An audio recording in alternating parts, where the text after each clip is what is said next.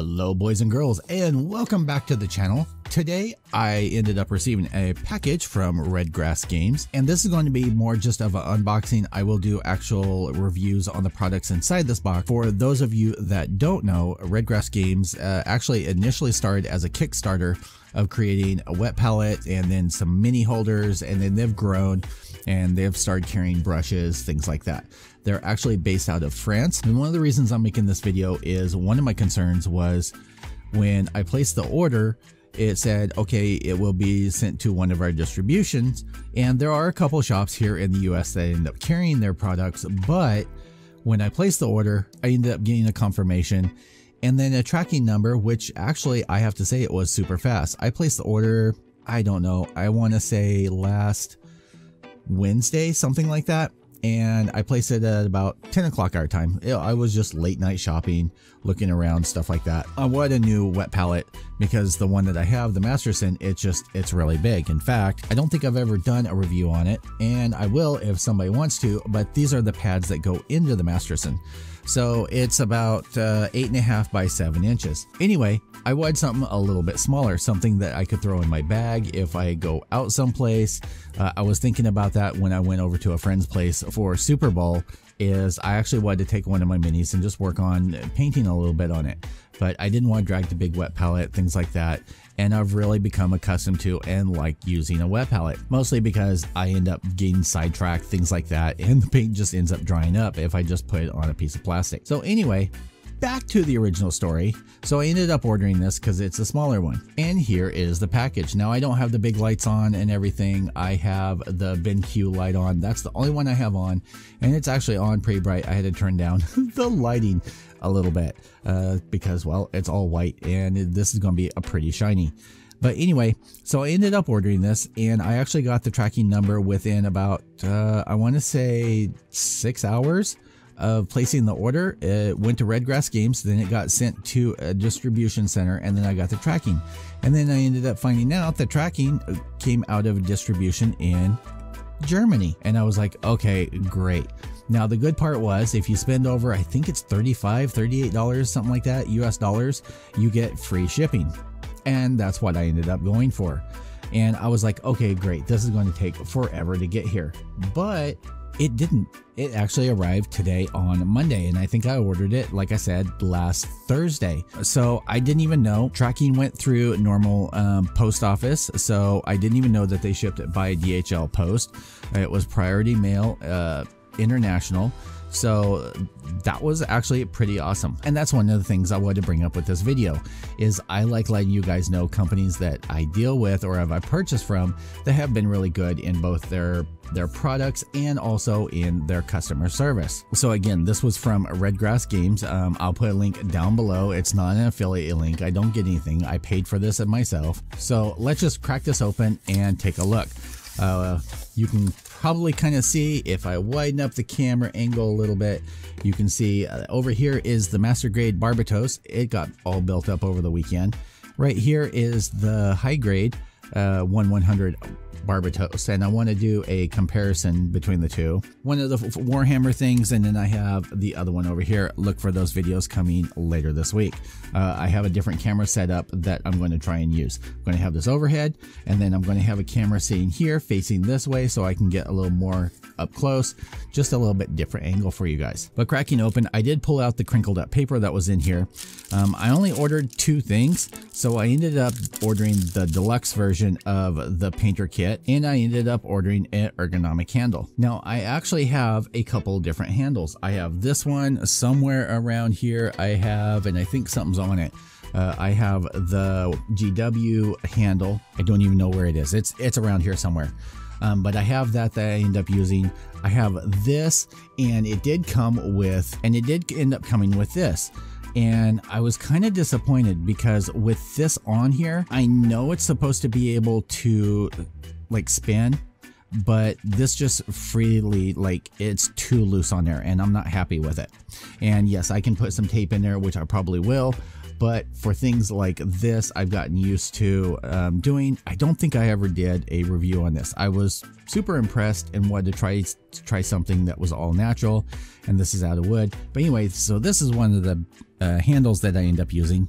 When I'm painting. So I ended up picking up this. I haven't opened these up or anything to look at. So we're just going to take a real quick look.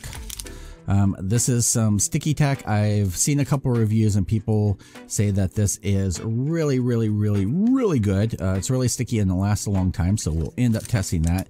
And then this is the handle. Now the original ones that they had on Kickstarter were 3D printed. This is molded and the other ones I've seen actually have a screw in here to hold down.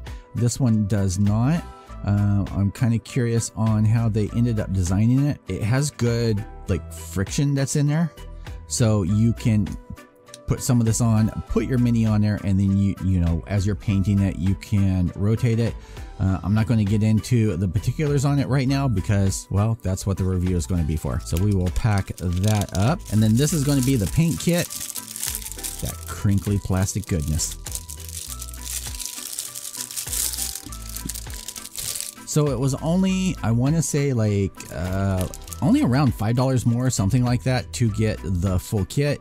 And the full kit actually includes, you have this magnetic uh, paint tray that you can use for watercolors, anything like that. Uh, it also has a divot to be able to lay your brush on here to save your brushes. Um, the deluxe kit also comes with this band, which can be used over it to keep it secure. Um, and I've done some research on this and a couple of different ones.